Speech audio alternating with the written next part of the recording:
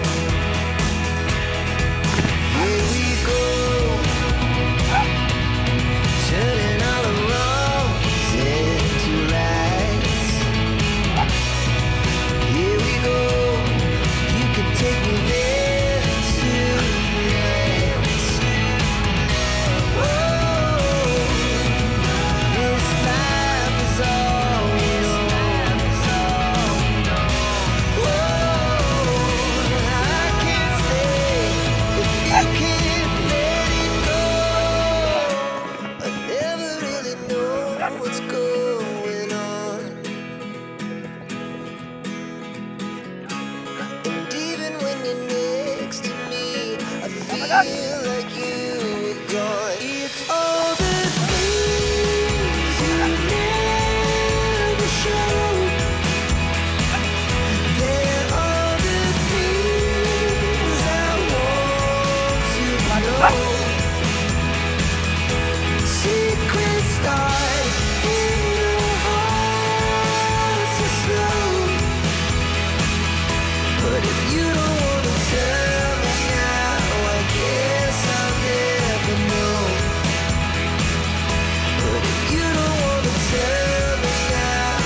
तो finally guys आज जो घोड़े को हम कुछ ज़्यादा, बहुत ज़्यादा देर तक दौड़ाए हैं और इसका हर एक दिन इसका जो प्रैक्टिस हम लोग ज़्यादा ही बढ़ाएँगे।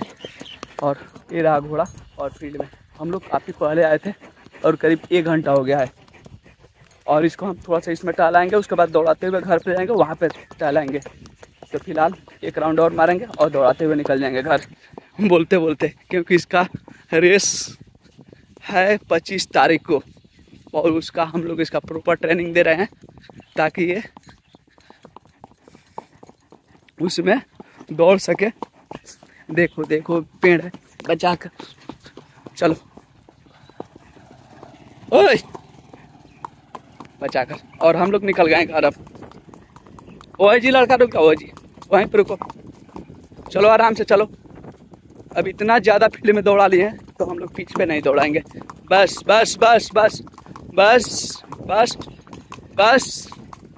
असल में घोड़ा तभी दौड़ और जब हीट हो जाएगा तब, अब नहीं दौड़ाएँगे। चलो, आराम से चलो।